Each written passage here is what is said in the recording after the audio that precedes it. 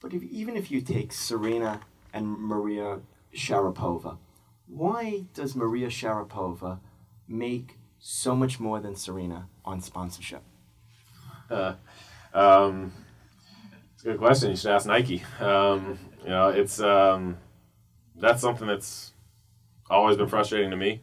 Um, Serena's uh, possibly the best athlete of our generation without qualifiers, without saying male, female, black, white, anything. She's one of the best athletes of our time. And she's won three times as many majors as.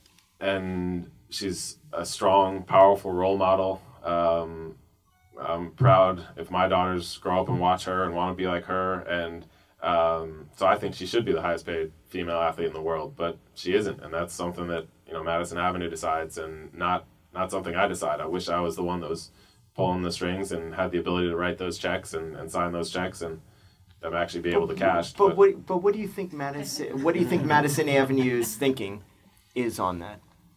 What, like, um, I mean, Maria Sharapova has, um, I guess, uh, if you want to say the, the look that they're looking for. Um, and she's been marketable. She sold a lot of, um, she sold a lot of cars, watches, clothes, shoes, whatever it is that she's, um, she's endorsing. She sold a lot of them. And I also don't um, don't want to seem like I'm begrudging her because she's she she deserves everything that she gets. Mm-hmm. Um, but I just think Serena deserves uh, more. even more than, than she gets, and, and she's had to fight so hard to, to get what she's gotten.